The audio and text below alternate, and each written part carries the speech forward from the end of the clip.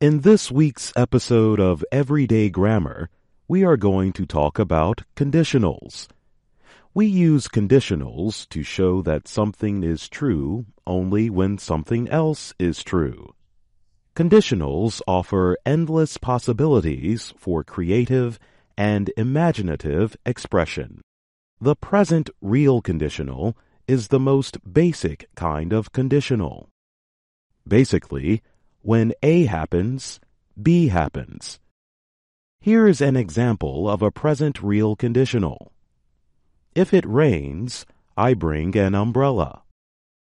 Conditionals have two parts, the if clause, if it rains, and the result clause, I bring an umbrella. You could also say, I bring an umbrella if it rains. Poets and songwriters often use conditionals in their work. Listen for the present real conditional in this song by American songwriter Bob Dylan. Notice that the verbs see and say are both in the present tense for the present real conditional. The next conditional that we're going to talk about is the present unreal conditional. Use the present unreal conditional to talk about what you would do in an unreal or imaginary situation. If A happened, B would happen. For example, if I were you, I would take the job. The key word is would. It makes the conditional unreal would can only be used in the result clause of the sentence. Here's an example from American singer Johnny Cash.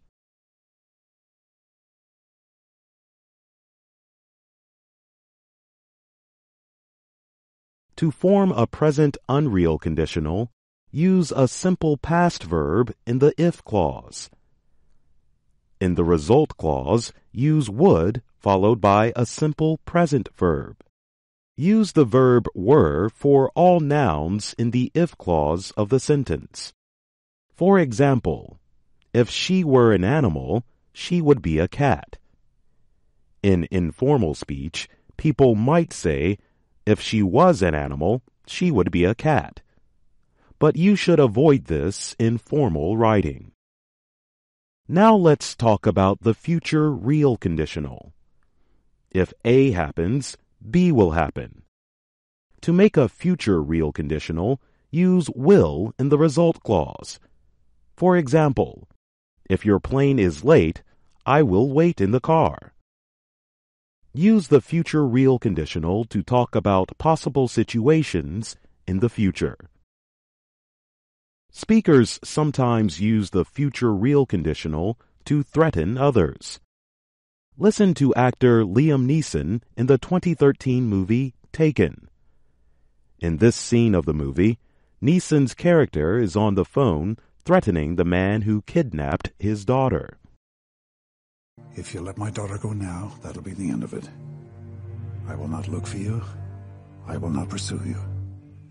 But if you don't, I will look for you. I will find you.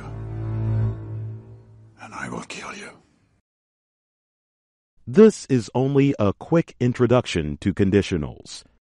In a future episode of Everyday Grammar, we will talk about past and mixed conditionals.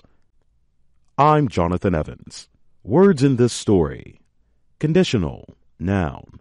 A word, clause, or sentence that shows that something is true or happens only if something else is true or happens.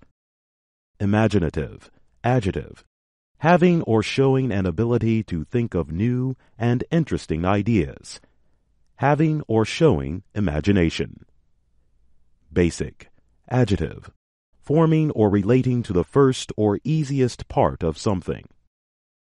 Clause, noun, grammar a part of a sentence that has its own subject and verb. Tense, noun, a form of a verb that is used to show when an action happened. Unreal, adjective, not real, not true. Now it's your turn. Do you like to use conditionals?